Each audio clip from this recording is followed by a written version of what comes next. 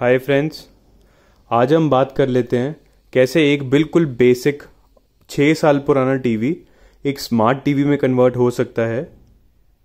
देखिए, मेरे पास एक सिस्टम है जेबीएल का।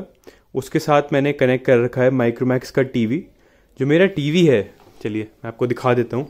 जो मेरा टीवी है, ये माइक्रोमैक्स का छः साल पुराना टीवी है forty inches TV normal high definition नहीं है, पर एक फिर भी अच्छा टीवी है। जो कि मैं आपको दिखा देता हूँ साइडों से भी। स्लिम है। साथ में इसके दो पोर्ट्स आए थे। एक HDMI पोर्ट आया था। इसमें आप देख सकते हैं एक डिवाइस कनेक्टेड है। This is called Google Chromecast इसके भी तीन वेरिएंट्स आते हैं one two and three this is presently the third variant अगर आपको इसके बारे में और जानकारी चाहिए तो आप मेरे वीडियोस को देख सकते हैं। मैं ऑलरेडी कंपैरिजन कर रखा है एक और दो और तीन में कि क्या क्या डिफरेंसेस हैं। ये बेसिकली इस टीवी को, ये जो टीवी है बेसिक टीवी है इसको स्मार्ट टीवी बना देता है। ये हाँ जी। ये जो सिस्टम है जो डिवाइस है, ये एक नॉर्मल टीवी को स्मार्ट टीवी बना देती है। मैं आपको दिखा देता हूँ।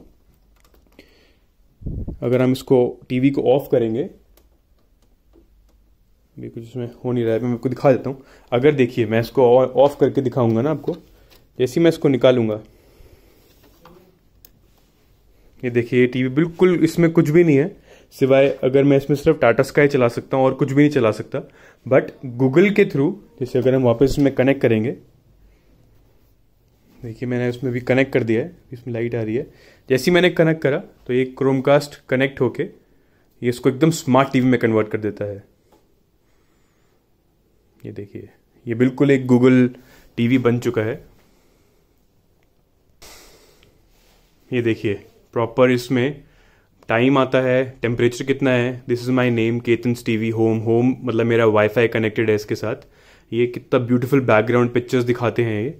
अब आप देख सकते हैं, ये जो मेरा होम थिएटर है, अब कोई भी होम थिएटर आपका कोई भी पुराना सा पुराना हो, नया हो, अगर उसमें ऑक्स भी कनेक्ट हो जाता है तो ये इजीली आपके टीवी में एक आउटपुट होते हैं आउटपुट सिस्टम होता है। यहाँ पे आप अपने कनेक्ट कर सकते हैं ऑक्स केबल के थ्रू अपने टीवी में, कोई भी पुराना टीवी हो, आठ साल, दस साल पुराना टीवी वो आपके सिस्टम में जाके कोई भी स्पीकर वो कनेक्ट कर लीजिए और डायरेक्ट इनपुट वो ले सकता है। अब देख, देखिए, मैं कैसे एक नॉर्मल टीवी को स्मार्ट टीवी बनाऊँगा।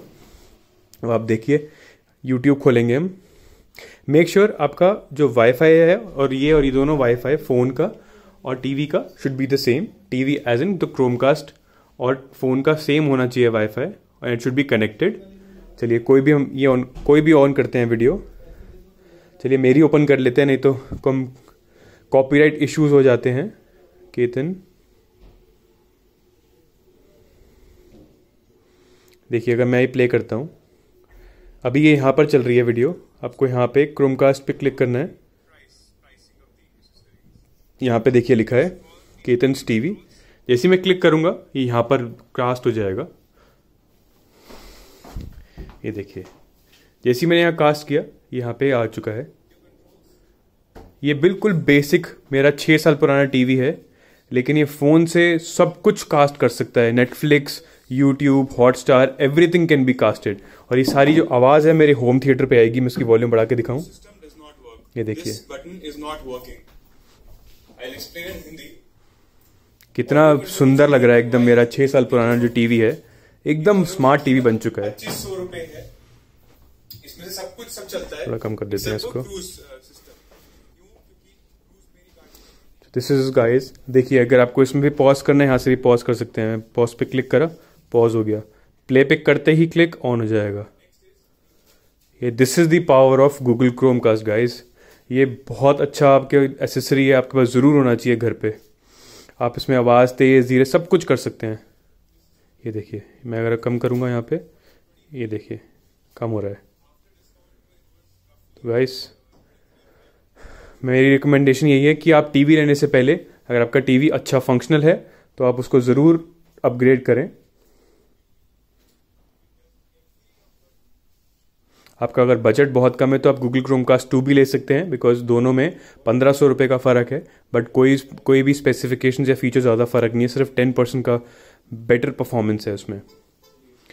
All right guys thanks for watching do let me know in the comments कि आपको कुछ और चेंजेस या कुछ आपको कुछ, आपके क्वेश्चन हो तो। Thanks for watching guys to like and subscribe